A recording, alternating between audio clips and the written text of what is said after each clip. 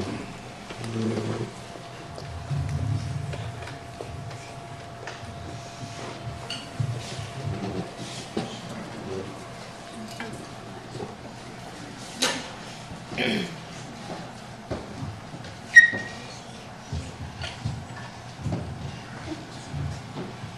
and close to the microphone, nice and loud. Just a second.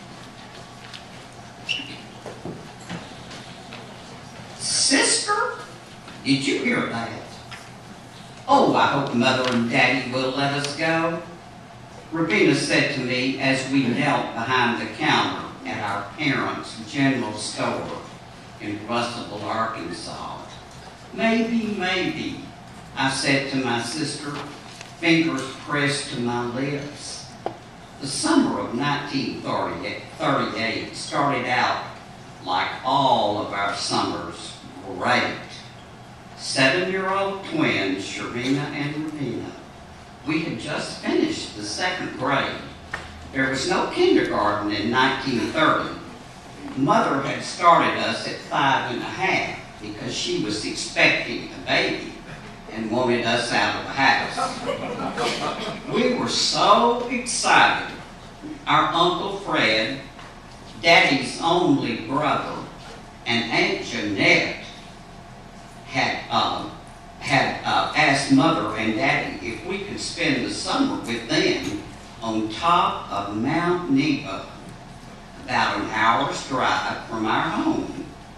Our, our, our uncle and aunt had no children, so we were sort of special that we were identical twins. The talk continued, then Daddy said, Fred, ask Melvina, our mother. She'll have to make the decision. Well, it was a little iffy because when we were at their house visiting for a while, Aunt Jeanette always seemed to get a bad headache. We just didn't understand why. Mother finally agreed to let us go to Mount Nebo. Oh, sister, did you hear that? We're going. We were so excited we started asking, when are we leaving? Are we leaving now? When, Daddy, when? We almost talked our folks to death, but the day finally came when we started up the mountain. We were quiet going up the curvy road. We could hear the crunch of the gravel, and it made a lot of noise. Uncle Fred's car, a beautiful maroon Buick, just hummed all the way to the top. We had a log cabin and our own bedroom, and big rocks on the edge of the rim that we could sit on and see the sunrise and the sunset. It didn't take us long to get, to get to know all the neighbors. Evenings were really good times because Aunt Jeanette and Uncle Fred taught us how to play Chinese checkers and plain old checkers. We played and played until they would have to call it a night. And we would do the very same thing the next night.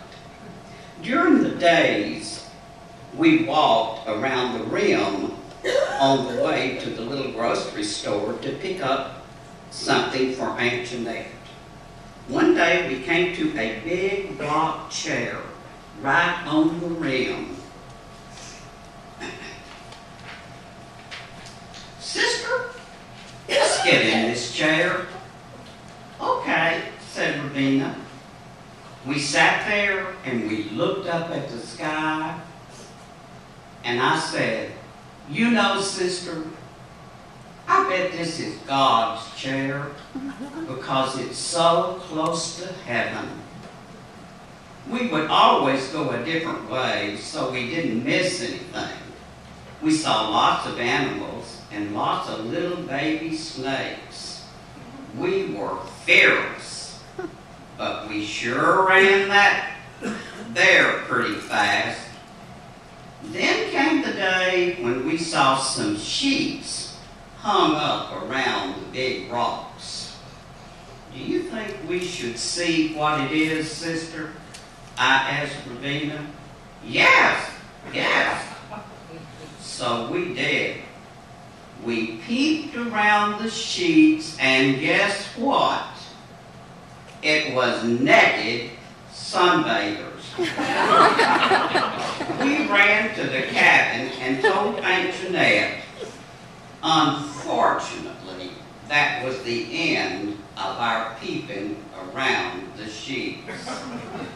It seemed a short summer. Our folks drove up the mountain to pick us up, and we said our goodbyes. I looked at Ravina. I don't think Aunt Jeanette had a headache this summer, do you? Sister? Ravina replied, She had so much fun, I guess she forgot to have one.